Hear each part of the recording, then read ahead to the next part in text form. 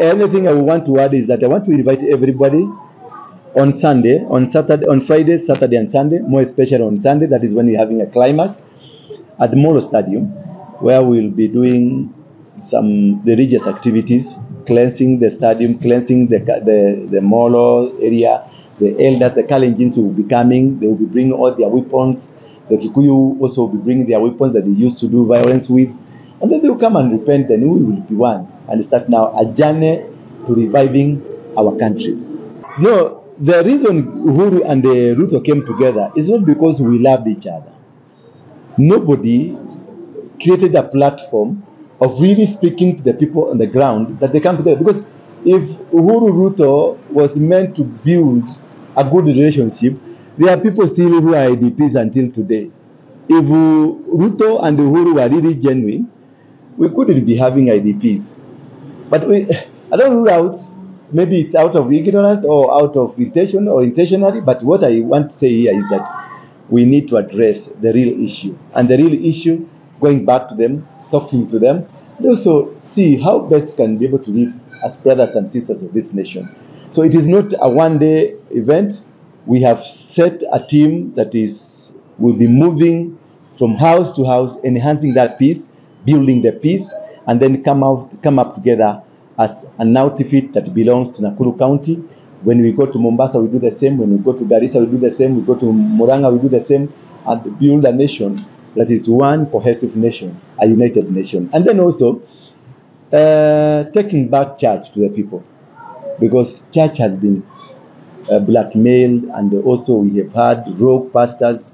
We also had rogue prophets, and many people who are rogue in the society. Also, the politicians have disconnected with the society. It's a society that is full of disconnect. All that we are praying is that we have togetherness. We bring a society that is one, a society that loves their country, that works with their country, that believes in their country, that can fight for their country, not for their tribe. Yes, the reason Molo, first reason is I come from Molo.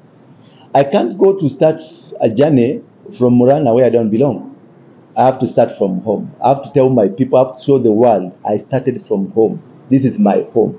And uh, first of all, you must make your people, your people where you come from, believe in you so that you can start a journey together. Number one. Number two, Moro is historically is a, a, a, a, a black spot.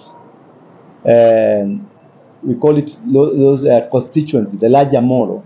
That's where Kamara, Olenguruone, Kirisoi, Njoro, this is the larger Molo constituency. And uh, the larger Nakuru also district.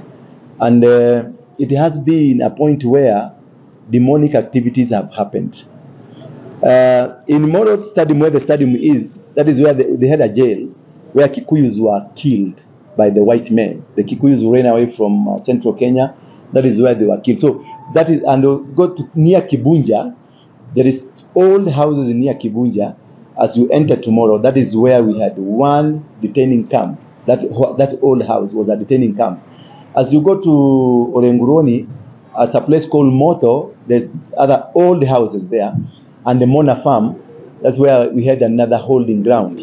And as we come into where we have Keringet water in near Turi, there was another place where they had a holding ground. So, and another from Londiani, near a place called Mau Summit. Mau Summit is a Muzungu that we call Cement. That was his name. So those are the people who are positioned to make sure they brutally kill their African people. So after many, many years, there are four, four things that have happened.